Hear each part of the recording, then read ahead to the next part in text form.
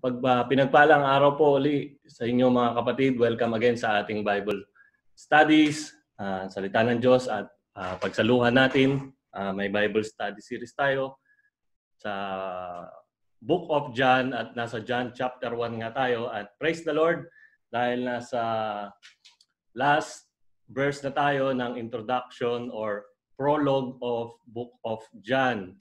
At uh, baka ito na rin yung ano natin, last uh, uh, uh, Bible study natin for this season na uh, itong crisis dahil most of uh, uh, us ay magbaback to work na po sa ating mga kanya-kanyang trabaho.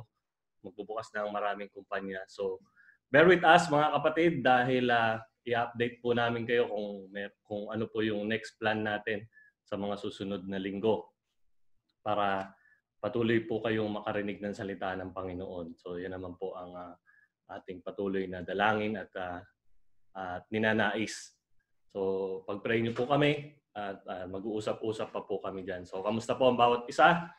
At uh, dalangin ko nga po ay lagi tayong uh, safe sa biyaya ng Panginoon.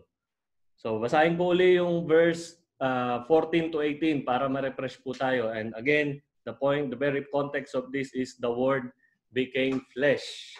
Ang sabi po, 14, and the Word became flesh and made His dwelling among, among us. We have seen His glory, the glory of the one and only Son from the Father, full of grace and truth. John testified concerning him, he cried out, saying, This is whom I said, He who comes after me has surpassed me because he was before me. From his fullness we have all received grace upon grace. For the law was given through Moses, grace and truth came through Jesus Christ. No one has ever seen God but the only, the one and only Son, who is himself God, and is at the Father's side, has made him known. Samahan niyo po ako manalangin.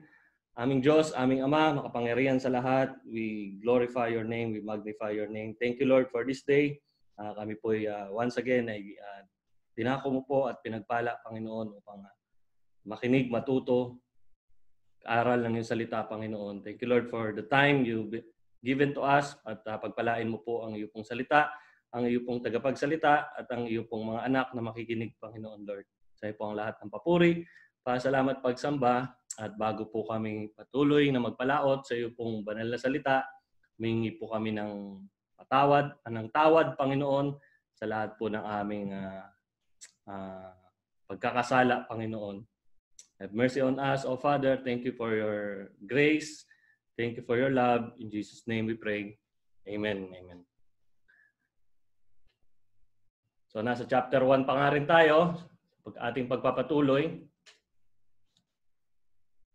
Kahapon, katatapos lang ng ating uh, conference. So dalawang araw to na half day. So glory to God po sa tagumpay na to at alam ko lahat ng naka-tune in ngayon. Most of you ay naka-attend kahapon at marami marami pa sigurado ang nabitin. Diba? So praise the Lord po sa ating mga speaker na ay si Dr. David nga yung unang araw din si Dr. Larry.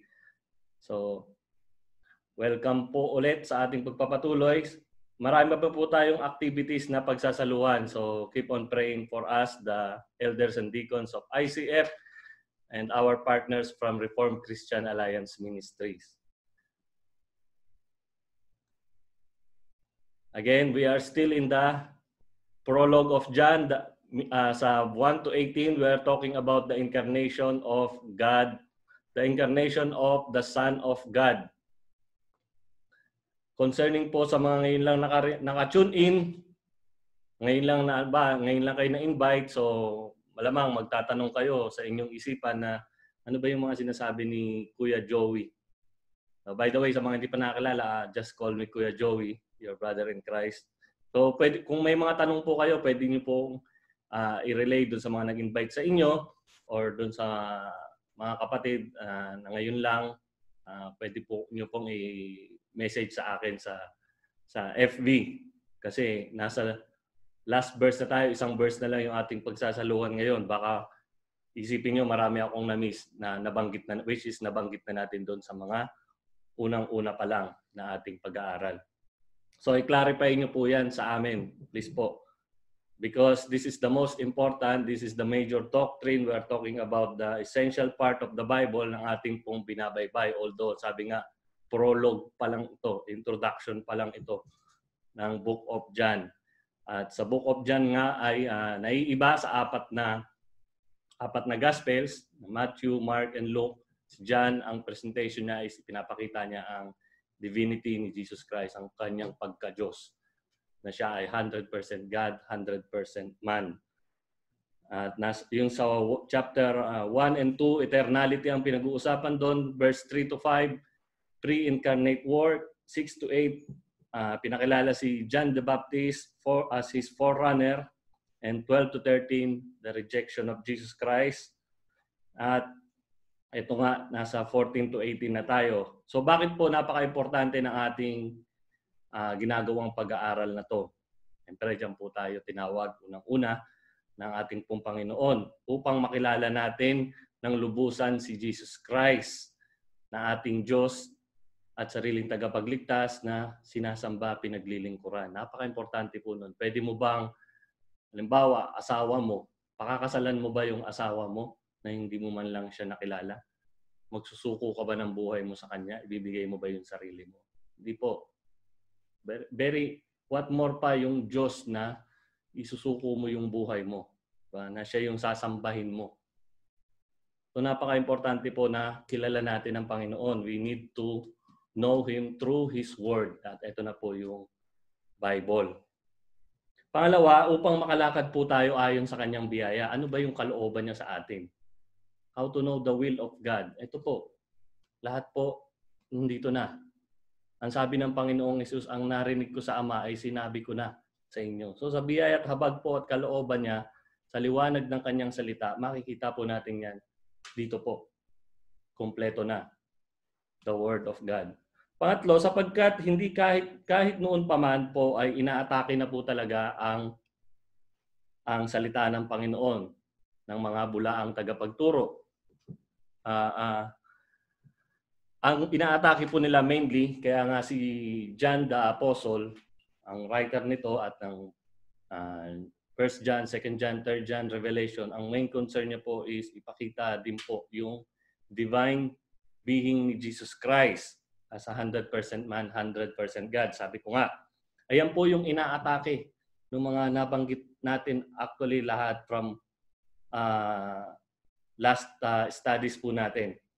Actually, from Old Testament to New Testament era, under attack lagi ang katotohanan. Totoo po yan, maging sa ating mga Kristiyano. Kaya nga sabi ni Jesus Christ, you will be persecuted because of me. Not because of you, but because of Christ. Ganon din po yung sinapit ng mga disipulo, yung mga early forefathers natin. Ito ng mga disipulo, ng mga apostol. So, lagi pong under attack ang katotohanan. There is always false God and false teacher with their counterfeit teachings during Old Testament na umiiral na po until New Testament and during our modern, modern time today. Nandiyan na rin po ang mga counterfeit Christians or Tagalogin natin yung counterfeit Christians, kulto. So, masakit sa tenga, no? pero sad but true yan po ang tawag sa kanila, kulto. Once you twist the word of God, ang tawag na po sa iyo, kulto claiming to be Christians but not following the scripture as is and teaching it as is, as is where is. Malaking po ang pananagutan, especially ng mga nagtuturo, tumatayo po sa mga maling katuroan na nandun po sa mga count, uh, counterfeit side. Nabanggit ko po sa inyo last week ng bahagya yung mga heresy, false teaching na nabanggit natin, Gnosticism, Ebionites, Docetism, dualism, Unitarianism, Arianism. At uh, sabi ko nga, i-research nyo po yan. Makikita nyo naman yan sa internet kay Mr. Google through Wikipedia. Andun po lahat. Kung mahilig kayo sa history, ako personally mahilig sa history. Gustong gusto ko po yan basahin. Kaya ako po nalaman yan. Nakikita nyo po ang buong detalye. At sa ating modern time, at all of them ay syempre existing today. Existing pa rin po sila, lalo po nga po silang dumadami. iniiba-iba lang nila ang kanilang pangalan at package deal. Kaya nga po mag-iingat. At mag-iingat po tayo ngayon sa kanila. Kaya ang sagot lang dyan, beware and be discerning and how to do that simply by trusting the Lord always. Live a prayerful life. Read the Word always. Maging babad sa salita ng Diyos. That's the way to be filled with the Holy Spirit. At sabi nga yun nga, sa Joshua, sa Old Testament pa lang, yan na ang bilin sa mga ni Moses sa kanyang successor. Di ba? Kay Joshua. Joshua 1.8 This word shall not depart from your mouth. Shall meditate the word day and night. Joshua 1.8, di ba? Joshua 1.8, bro. Okay, pause mo lang for the sake ng mga... So as we proceed on the last verse, let me read it again. Sabi po sa English, No one has ever seen God but the one and only Son, who is himself God, is at the Father's side, has made him known. At sa Tagalog, walang taong nakakita man, na, nakakita kailanman sa Diyos. Ang buktong na anak na nasa sinapupunan ng Ama, siya ang nagpakilala sa Kanya na nasa sinapupunan ng Ama, siya ang nagpakilala sa Kanya. So dito po, ano po ang ating makikita? Anong ibig sabihin nito? So sabi ko nga, kung hindi nyo nasubaybayan yung 1 to 17, mahihirapan kayo intindihin yung verse 18. But uh, bear with me, I will try to, papasok pa rin naman dito yung mga, mga nakaraang pinagdaanan, pinag-aralan na natin. Iikot-ikot lang yan eh. Makikita po natin dito na pinagdidiinan ng writer na wala pa pong tao indeed ang nakakita sa Diyos, kundi ang anak lamang, the only one and only Son, Jesus Christ. So what does it mean na walang nakakita kailanman sa Diyos? Yan po nga ang ating yan nga po ang ating aalamin. Please keep in mind mga kapatid that in the book of John, we can see twofold. Ano pa ibig sabihin ng twofold? Twofold mission na pinulpil ni Jesus Christ. Kung bakit siya nagkatawang tao, yung kanyang purpose, pinulpil niya nga yung uh, dalawang mission na to. Kaya siya nagkatawang tao. Unang-una, ano po yon? Ang sinabi ni John the Baptist, the Lamb of God, John 1.29 bro, the Lamb of God that takes away the sins of the world.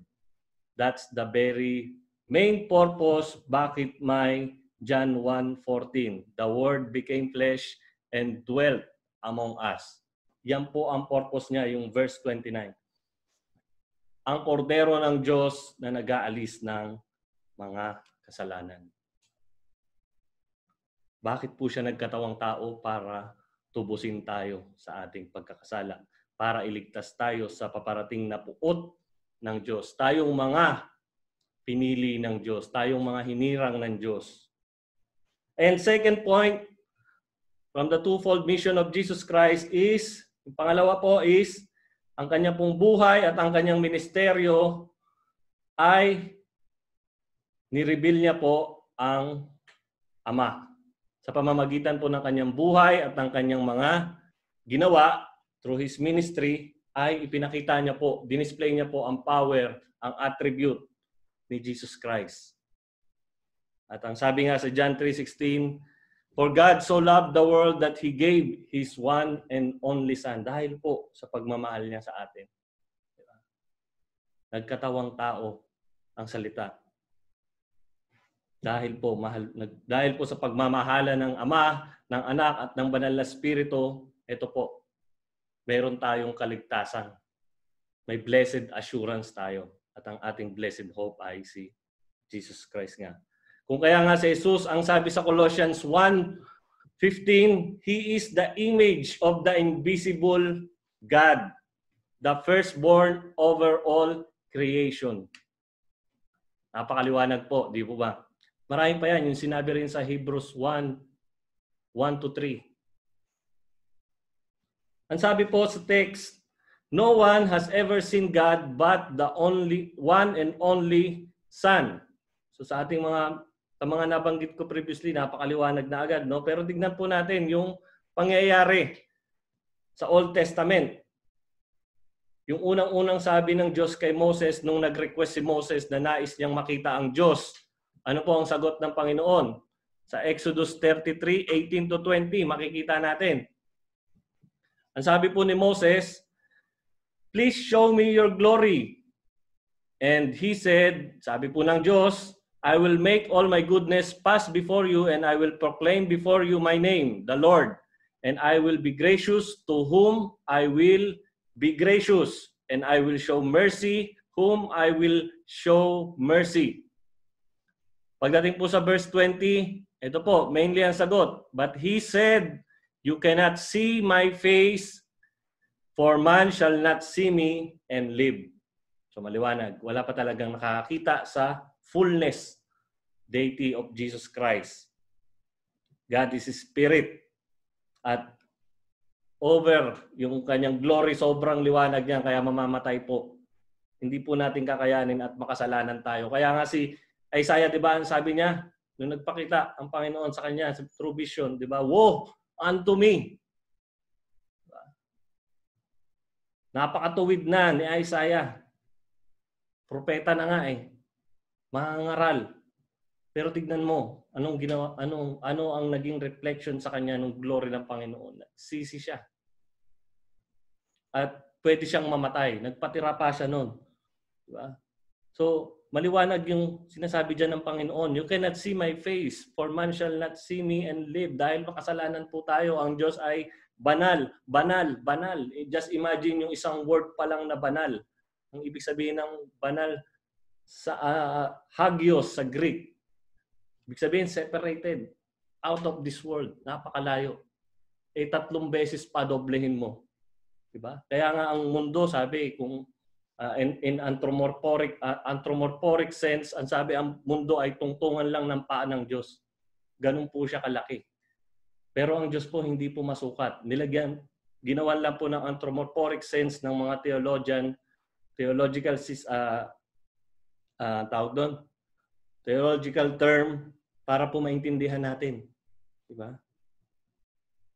Tayong mga tao, para makilala natin ang Diyos. Ginawa po yun ng Panginoon. And sabi sa 21, And the Lord said, Behold, there is a place by me where you shall stand on the rock. So pinagbigyan niya. Si Moses, And while my glory passes by, dumaan lang, I will put you in a cleft of the rock, and I will cover you with my hand until I have passed by. Diba? Tinakpan niya pa. Then I will take away my hand and you will see my back. But my face shall not be seen. Diba? Pinakita niya pero hindi yung mukha. Likod pa lang. Pero again, this is anthropomorphic sense. Not in the sense na may kamay, may paa, may may may mukha, may di ba? Ang Diyos is spirit. This is anthropomorphic sense para po ma-correlate tayo. Maka makarelate tayo sa uh, divine being ng Diyos. He is speaking in human term. At sa Exodus 34:5-7, ito pa po ang sinabi ng Diyos. Ipina, sinabi niya ang kanyang attribute. The Lord, verse uh, Exodus 34:5-7 bro. Ang sabi, the Lord descended in the cloud and, the, and stood with him there and proclaimed the name of the Lord.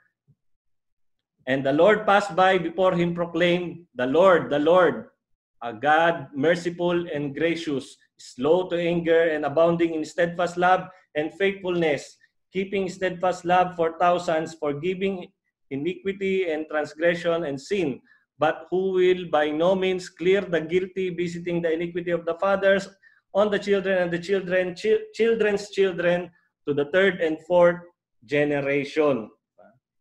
Yan po ang attribute ng Panginoon. Makikita rin natin dun sa huling-huli, di ba? Yung uh, he is a God of just. Nagpaparusa rin siya doon sa mga sumusuway sa Kanya. At lahat po ng yan, itong attribute ng Panginoon, yung kanyang glory at itong yung kanyang nabanggit dito sa 34:5 to 7 na siya ay merciful, gracious, slow to anger, abounding in steadfast love, faithfulness, love for thousands, forgiving iniquity, transgression, and by no means clear the guilty, Lahat po yan ay present ni Jesus Christ nung siya po ay nagkatawang tao. John 1.14, di ba? At John 3.16. Take note niyo po yan. So in the Old Testament, may mga special revelation. Nabanggit na rin natin ito nung mga nakaraan. May special revelation din ang Diyos sa pamamagitan ng, ito nga yung tinatawag na theophany. Minsan sa physical appearance of God through man, nag, makita niyo yun sa Genesis nung nagpakita siya kay, ano, kay uh, Abraham. May tatlong taong nagpakita sa kanya. At nagpakita siya sa dreams, vision, alam niyan, diba, ng mga propeta. Kina Daniel, makikita niya yung mga visions at marami pa. At huling theophany niya, ginawa niya po sa New, New Testament po natin makikita. Theophany, yung nagpakita siya ng vision through human image. Ayan po sa Book of Acts chapter 9 kay Apostle Paul po. Yan po yung huling-huling theophany. At sa panahon po natin ngayon, beware po, huwag po na po kayong maniniwala doon sa mga uh, guni-guni na nagpakita sa kanila ang Panginoon. But, ayun nga yung ano, yung sabi nga, walang imposible. God can do that anytime. He is God. Pero ito po yung ating pinaniniwalaan na sinabi sa Bible po. At ito nga yung huling-huli na nangyari sa book of Acts. Kay Apostle Paul po siya nagpakita. Ang sabi niya doon, Apostle Paul, why you persecute me. Kasi once na pinopersecute po tayo, tayong mga Kristiyano, ang pinapersecute nila ang Diyos, si Jesus Christ mismo. At yun, si Apostle Paul, number one persecutor. Siyang mga umaapi, nagpapapatay sa mga Kristiyano nung wala pa siya, nung hindi pa siya converted as a Christian. So kanino, kanino siya nagpakita ng glory in human form? Through vision kay Apostle Paul. And the ultimate special revelation nga is, ito na po, si Jesus Christ nga po. The fullness of God, full of grace and truth. And ito nga ang salita niya, ang Bible itself. Sa pamamagitan ni Jesus at ito ang kanyang salita. Ito po ang special revelation.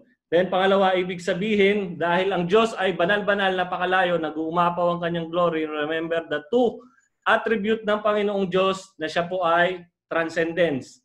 Sabihin, hindi natin maarok, napakalayo niya. And at the same time, siya ay immanent, siya rin ay malapit. So paano nangyari po yun?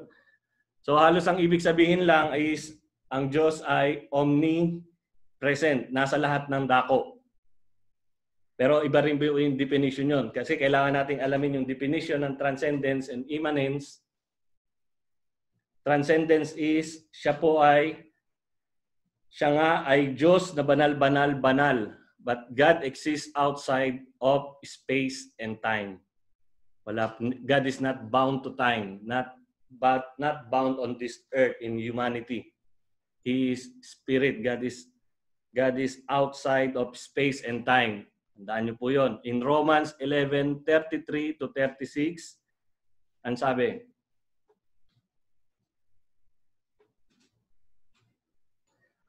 Lord, they have killed your prophets, torn down your altar, and I am the one, only one left, and they are trying to take my life. Oh, the depth of the riches, both of the wisdom and the knowledge of God, how unsearchable his judgment and untraceable his ways. For who has known the mind of the Lord? Or who has been his counselor? Or who has ever first given to him and has to be repaid? For from him and through him and to him are all things. Diba? Yan po ang Diyos. That's uh, the meaning of transcendence. At the same, yan po, in-explain ni Apostle Paul. At the same time, he is immanence. Ibig sabihin, God is with us. Diba? Siya ay kasama natin. God is present within space and time. Hindi mo mawawala yung presence ng Panginoon. God nga siya eh. He is both nearby and far away. Sabi po sa Jeremiah 23:23, I am am I a God who is only near is the Lord's declaration and not a God who is far away? 24. Can a man hide himself in a secret places where I cannot see him?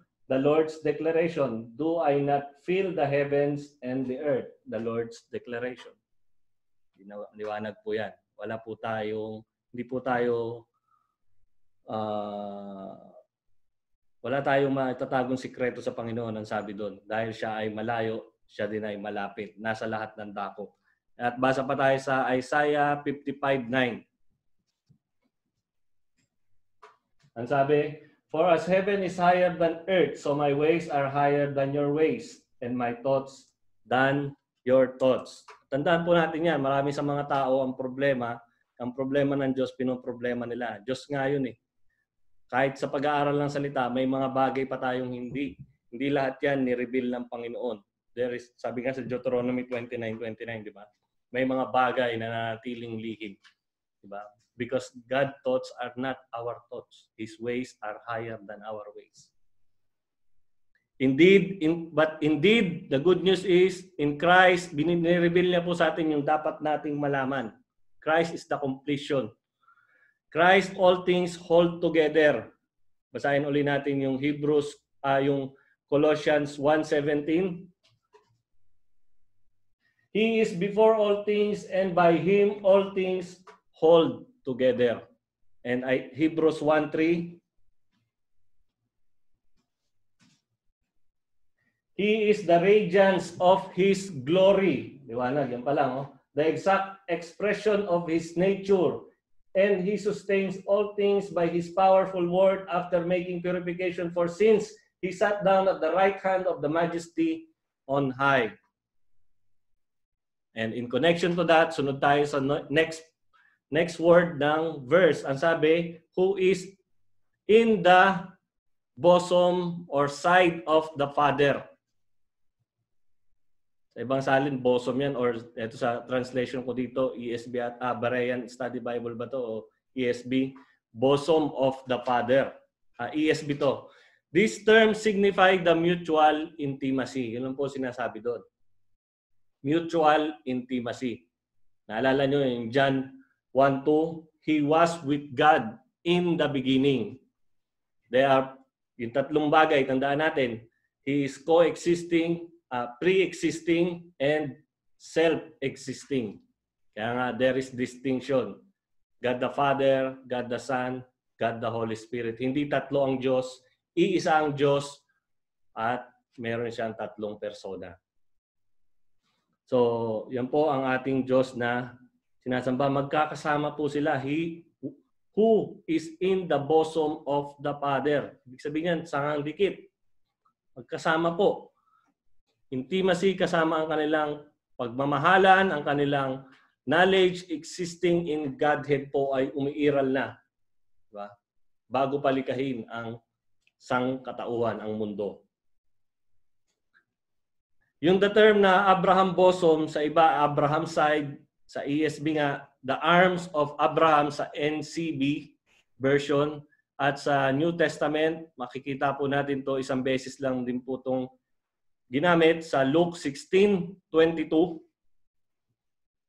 Si Jesus Christ po, ginamit niyang illustration to. Ayan. Sabi doon, one day the beggar died, he was carried by angels to Abraham's side. Abraham's side, pero Abraham bosom yan sa, uh, ito sa B, uh, Berean Study Bible or sa ano to? Anong salin dyan? Abraham side din dito sa Holzman. And the rich man also died and was buried. And in Hades, where he was torment, he looked up and saw Abraham for, from afar with Lazarus by his side. So, ito po isang illustration na sinabi po ng Panginoon na sasapitin ng mga anak ng Diyos. Mapupunta po tayo sa side ni Abraham. Dahil nga po tayo ay binigyan na ng karapatang tawaging anak ng Diyos. So another point ni John Apostle dito ay si Jesus nga ang nag-i-interpret or nag uh, nag-read uh, between the lines na mamagitan at ipinaliliwanag niya kung sino ang Diyos na buhay. At kung ano ang kanyang ginawa na hindi talaga ito maintindihan. Ito nga, nung mga uh, nung mga kababayan niya ng mga Hudyo, Jesus Christ nga is Hudyo nung nagkatawang tao, hindi nila maintindihan dahil nga hindi lahat tayo patay. Kahit sino pang mga pinakamatalinong tao, pagdating sa spiritual na bagay, tayo po ay spiritually discern, ang sabi po sa Corinthian, di ba? Foolishness. 2 Corinthians 2.14 na tayo, Brad. Pero, di ba? Spiritually discern. So, ah, mali, Brad. Ah, sige, skip na lang. So, we are dead. Sabi sa sabi naman sa Ephesians, di ba? We are dead in our trespasses, sabi sa Ephesians 1:4. So, kung wala po ang grasya ng Panginoon, katulad nga yung, yung best illustration ni si Lazarus, apat na araw ng patay, di ba? Binuhay ng Panginoon sa pamamagitan lang ng kanyang salita. Lazarus, come out. Bumangon mula sa pagkakapatay. That's our illustration mga Christian, we are spiritually dead. But when we hear the word of God, ang sabi nga sa Romans 10:17, faith comes through hearing and hearing the word of God. That's the same thing. Kaya nga po maliwa, napakahalaga ng ating ginagawang pag-aaral ng salita ng Panginoon at pagbabahagi. Huwag po tayong tamarin.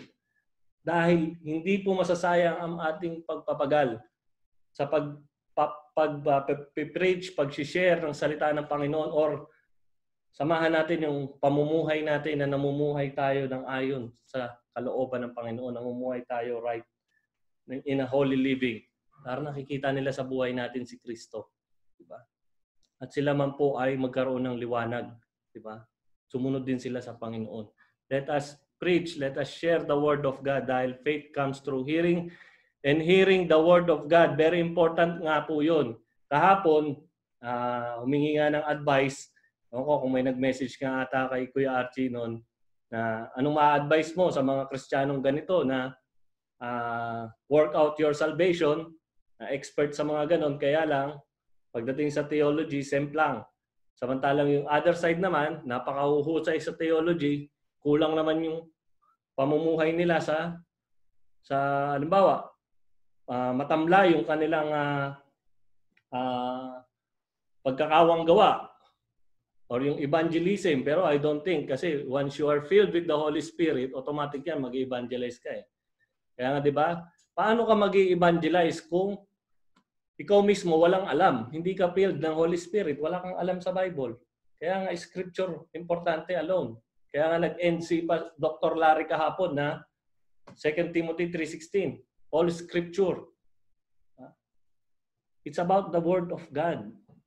It's not about our work or our our uh, stand in theology. Napakauhusay natin intellectually. Kabisado natin yung lahat ng theology, five sola, sola scriptura. Ha? Lahat, alam mo. Pero yung buhay mo, kamusta? Hindi po pwedeng ganon. Dapat po balanse ang punto doon. Balanse. Di pwedeng ganito ka lang or nagwo-workout ka lang ng salvation, lalo na kung ino-workout mo yung salvation para maligtas ka, ibang usapan po yun. Dahil nga, we are saved by grace alone, by faith alone.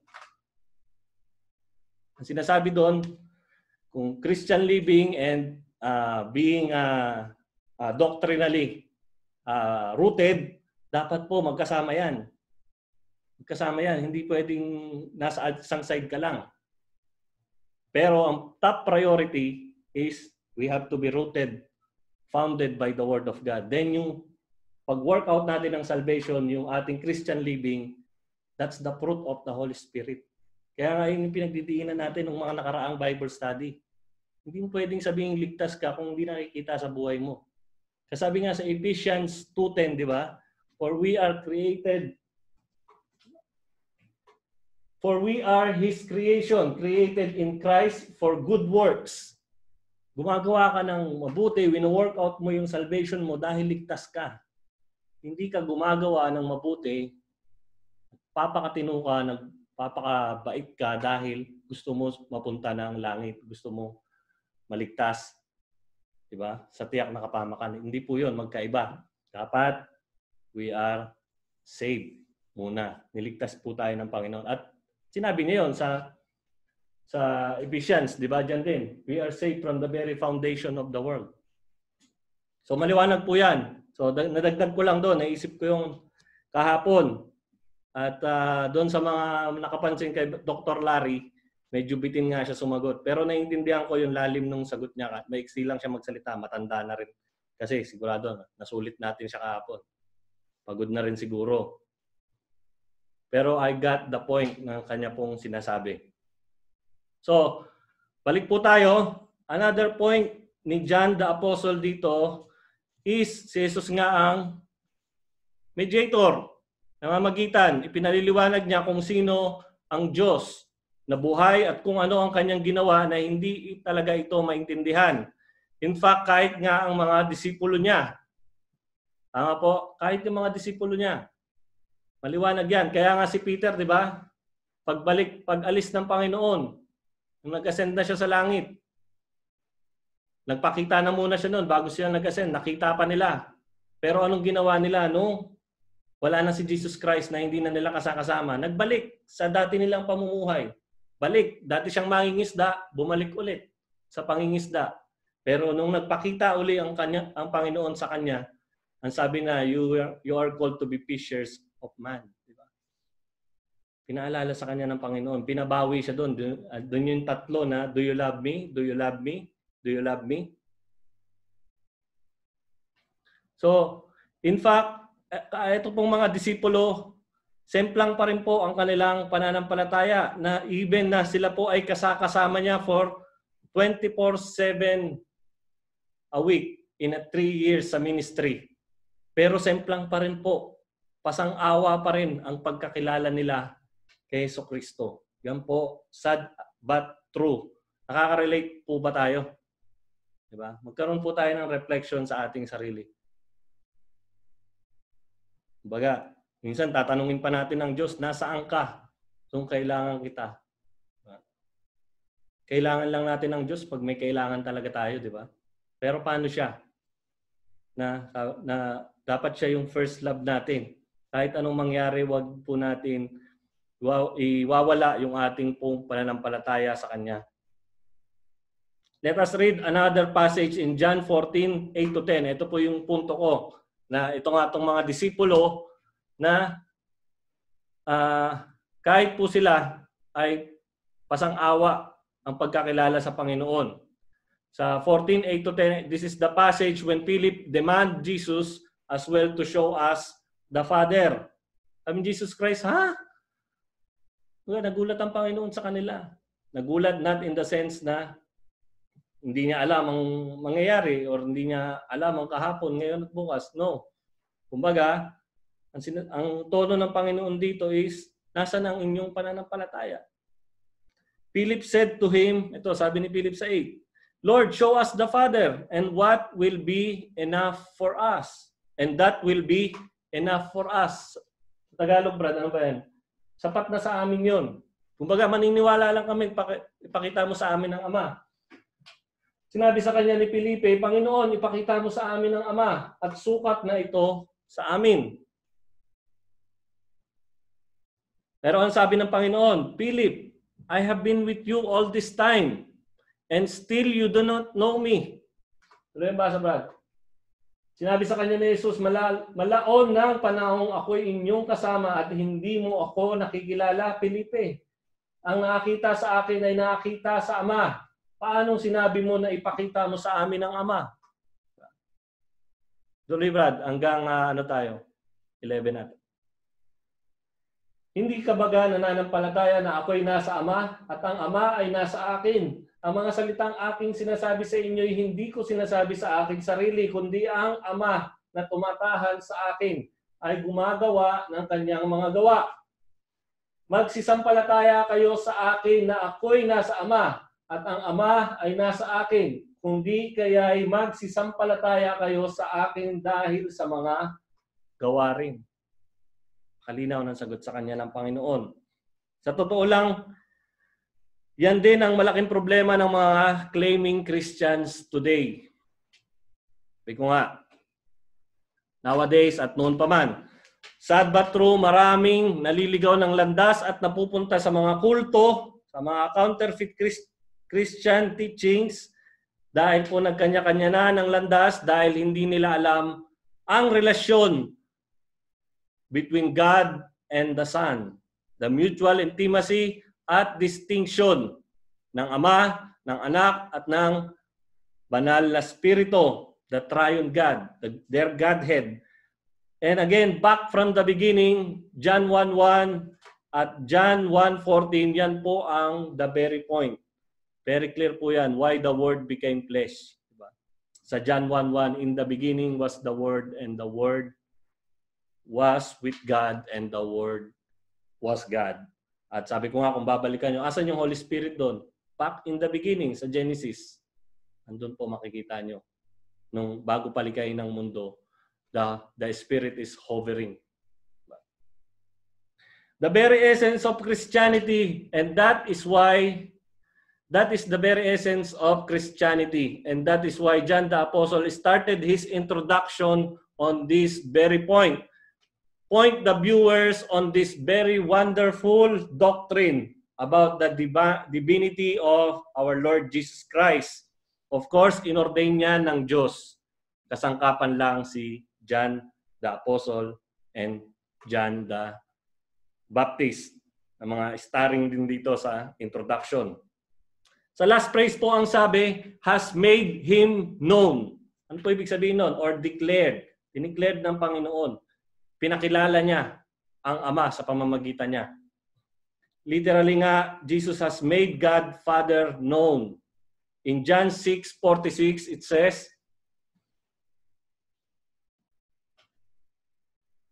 Not that anyone has seen the Father except the one who is from God. He has seen the Father. Matthew 11:27 All things have been entrusted to me. Jesus Christ po nagsasalita. By my Father. No one knows the Son except the Father. And no one knows the Father except the Son. And anyone to whom the Son desires to reveal Him. John 3.32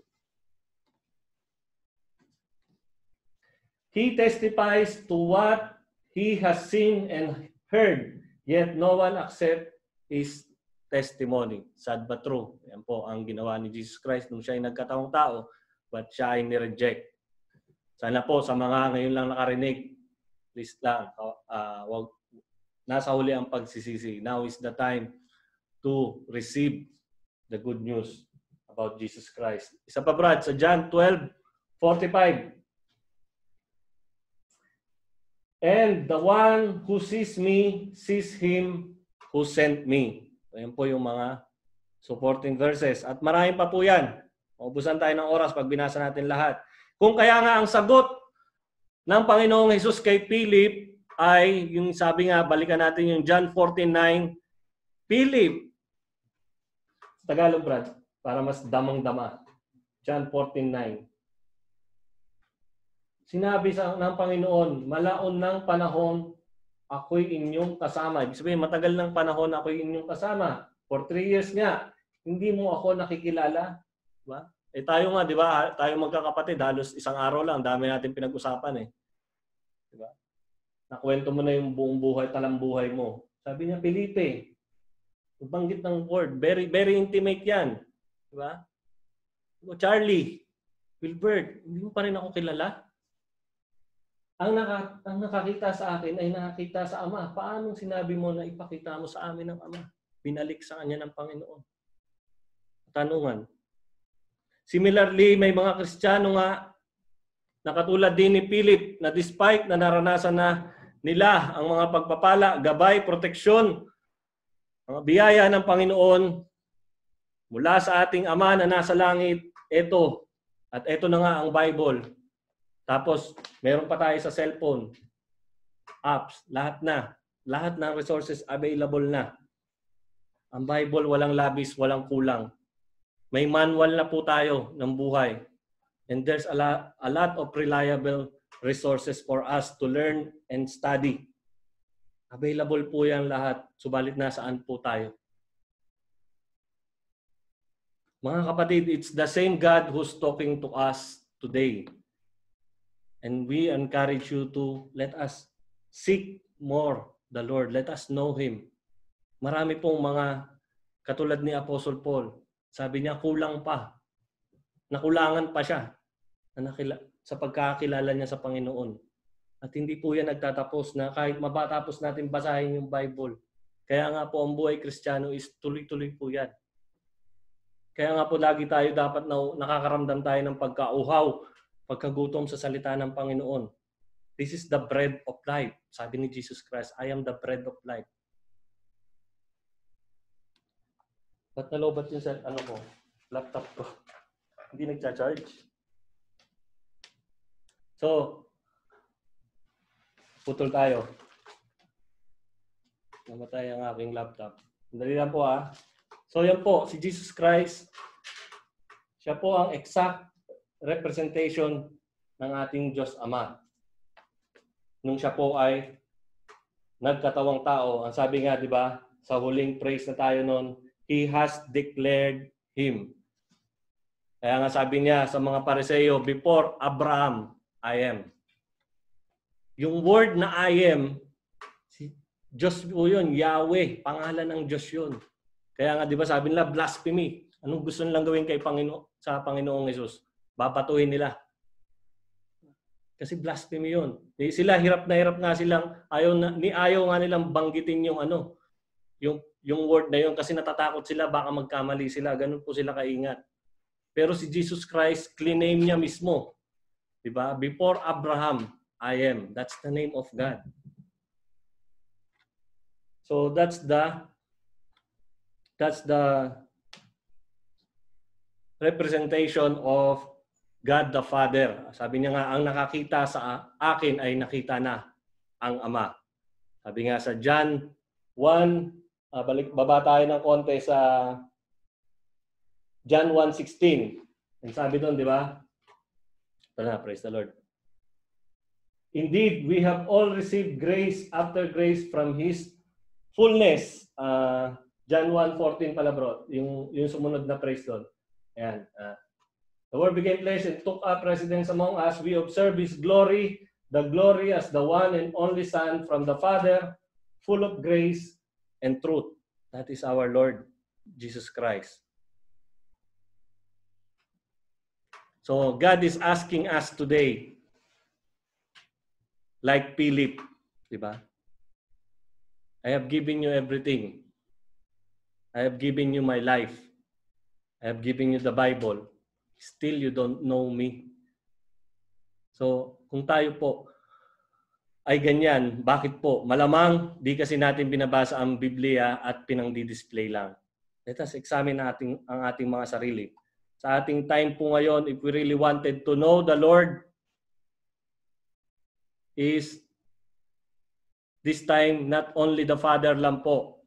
This time, we can know the Son and the Holy Spirit. How? Through the reading His Scripture, in the light of the Scripture. So please read my lips, mga kapatid. Now that you hear the truth, the truth that will set us free. Pray, ask, and read, and meditate the Bible day and night. Then surely He shall surely show Himself to you. Kapag ganyan po ang ating panalangin, ako napakasimple lang po ng panalangin ko noon sa biyaya ng Panginoon na nung time pala na yon nag-regenerate, wino-workout na pala ng, nag-workout na sa akin yung Holy Spirit at sa biyaya niya, nanalangin ako nung ano, Lord, gusto kitang makilala. Sa dinami-dami ng relihiyon dito sa mundo, nalilito na tayo, di po ba? Hindi natin alam kung ano yung totoo. Pero nag-pray po ako noon sa biyaya ng Panginoon. Lord Jesus, gusto kitang makilala. At kapag ganyan po ang laman ng ating panalangin, sigurado po magpapakilala siya. At hindi po ang Panginoon magsasalita sa atin audibly. Ito po, magsasalita siya kompleto na through His Word. We have to read. We have to listen to the preachers, to the teachers, to the Word of God. bawat isa sa ating mga proclaiming Christian, ang tanong is, nakikilala ba natin ang Diyos? Ah, ito na bumibigay ng ating, ang aking laptop. So again, we have to, my point is, yung sinabi rin ni John the Beloved sa 1 John 4, 12 to 14. Nakikita kaya sa atin ang image ng Diyos at si John the Beloved po. Ito po ang kanyang pinaka pagmamalasakit sa mga sa mga ating mga bagong mananampalataya. Sinabi na po diyan sa 1 to 4. Wini-witness niya po talaga kasi nakasama nga nila ang Panginoong Isus eh. Ang sabi niya, no one has ever seen God. If we love one another, God remains, uh, ano Brad, uh, tama, 12 to 14. God remains in us and His love is perfected in us. Then, this is how we know that we remain in Him and He in us. He has given to us from His Spirit. Okay, Brad, tuloy.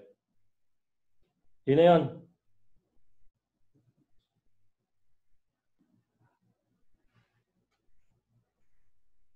First John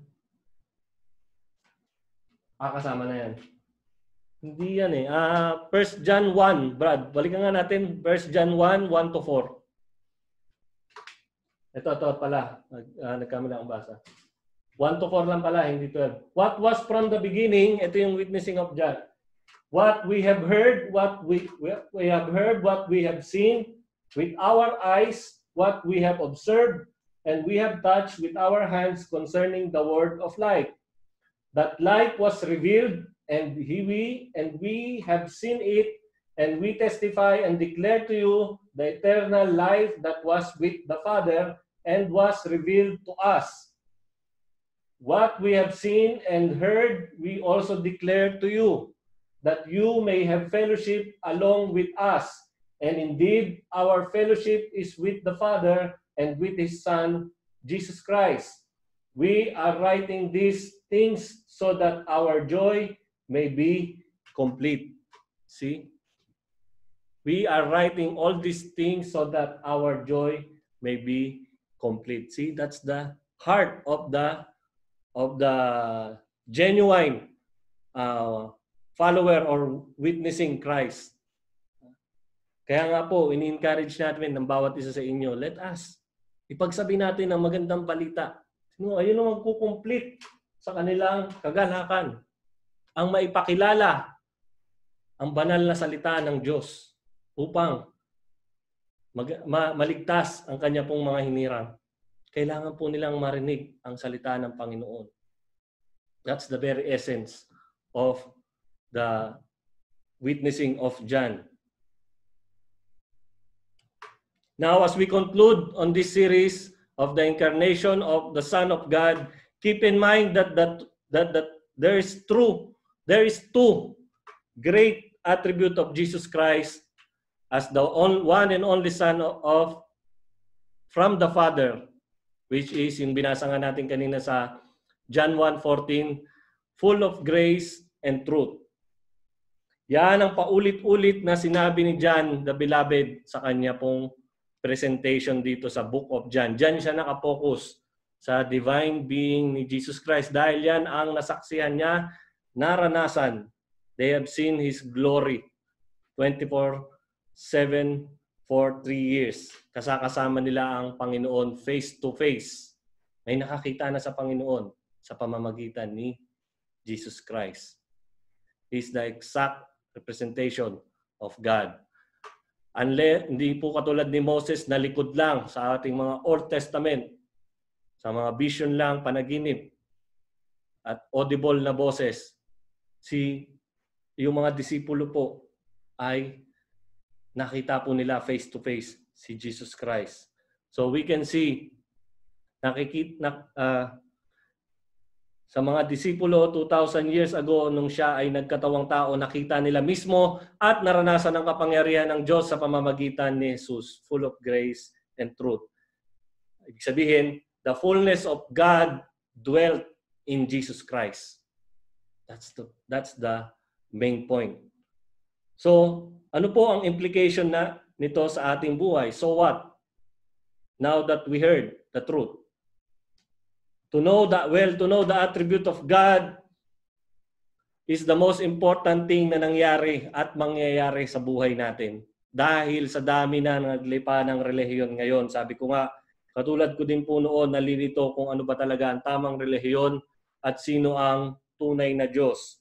Please keep in mind mga kapatid na ang ating hinihimay na verses all the way from verse 1 hanggang ngayon 18 ay ito nga ay introduction pa lang ng Book of John. It is the most essential uh, doctrine of our Christian uh, life, talking about the incarnation of the Son of God, looking back on John 1:14 as as the very point of John's in, introduction when the Word became flesh. And remember the main concern of the writer here, uh, as John the Baptist point others on the true and living God, Jesus Christ, the Holy, Holy, Holy, who came into this fallen world, the life and the true light of the world, upang tayo po ay magkaroon ng pag-asa, buhay at lumakad sa liwanag ayon sa kanyang biyaya.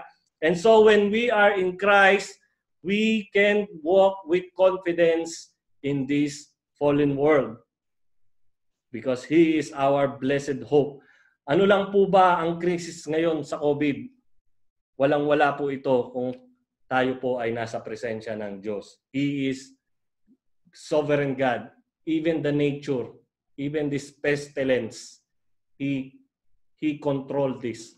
He allowed these things to happen for a reason. May purpose po siya sa buhay nating mga anak niya. Hindi niya ta- siya ang nangako na hindi niya tayo iiwanan ni pababayaan man lang. At kapag pumasok tayo sa isang pagsubok sa proseso, hindi niya tayo bibigyan ng pagsubok na hindi natin kakayanin. Sabi niya po yan. Sa mga ngayon lang po, nakarinig, nakasubaybay ng seryeng ito kung saan ipinakilala ang dakilang Diyos na si Jesus. As we end chapter 1 today, I don't know about you kaibigan, kung ano ang iyong tunay na kalagayan sa harap ng banal, banal, banal na Diyos. But let me remind you once again dahil indeed may katapusan ang lahat.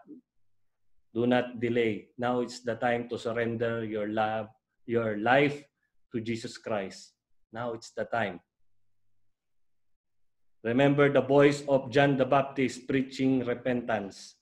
That's his very message as a forerunner of Christ prepare the way of the Lord.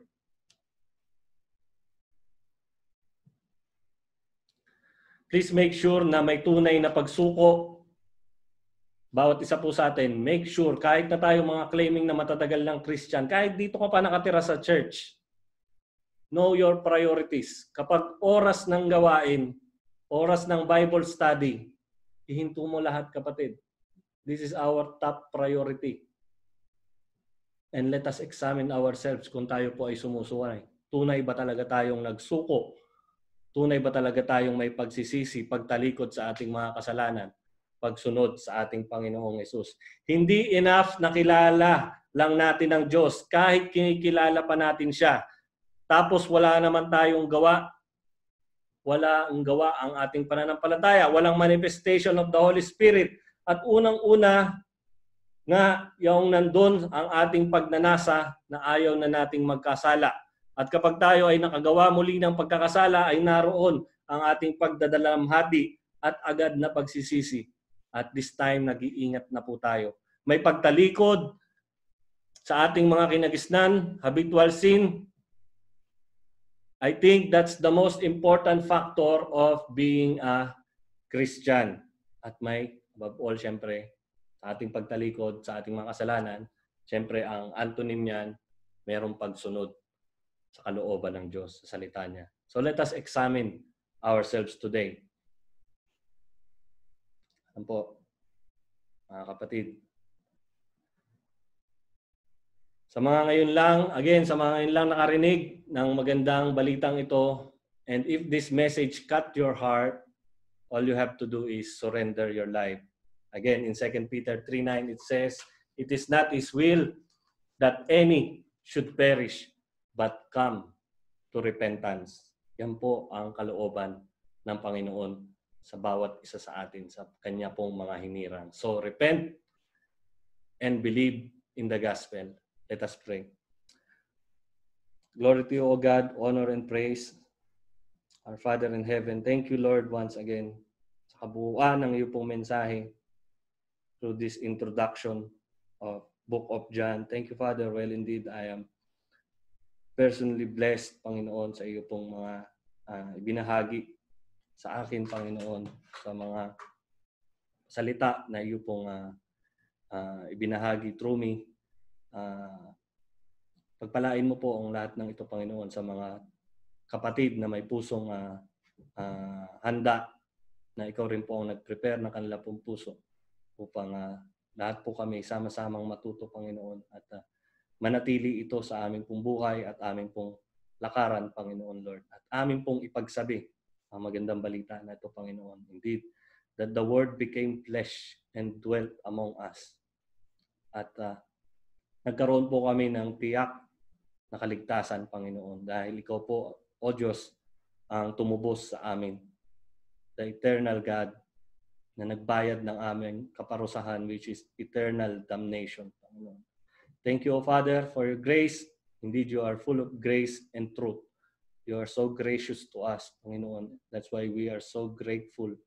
You are so true to us. You are so you are a God of truth, Panginoon. That's why we are here. We wanted to know you more, O God. Dahil wal, indeed, wala kaming magagawa kung wala ka sa aming buhay, O Father. Kahabagan mo po kami, Ama. And I pray, Panginoon, dun sa mga yun lang po, nakakarinig nito sa either sa aming pong YouTube channel, Lord. Indeed, your, your, your word is truth, Panginoon. Uh, your word is the living word na ang iyong pong banal na spirito ang mag-minister uh, sa kanila pong puso't isipan, Lord. Kahabagan mo po sila, Panginoon. Kahabagan mo po kami, Panginoon. Salamat po, Ama, at uh, hindi po nagtatapos ang aming pong pag-aaral patungkol sa iyo, Panginoon. At uh, nawa ito po ay uh, simula lang po, Panginoon Lord, at uh, magtuloy-tuloy po, Panginoon, ang dalangin ko po sa aming pong mga kapatid, mga kaibigan, mga pamilya na nakikinig nito, Panginoon Lord, na magkaroon po sila, Panginoon. Bigyan mo po sila ng time, Father, na mag-aral, Panginoon, at sila po ay matuto sa ayon sa iyong biyaya at habag, Panginoon. Salamat po, Ama. We're praying for their, for their salvation, O God especially ng aking pong mga loved ones, Panginoon. And those uh, people na pinili, na, pinili mo na po from the very foundation of the world. Salamat po, Ama. Sa iyo po ang uh, lahat ng kapurihan para salamat pagsamba sa pangalan ni Jesus. Amen. Amen.